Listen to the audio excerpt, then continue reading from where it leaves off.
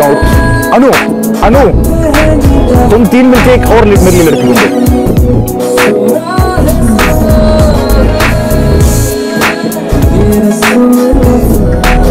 anyways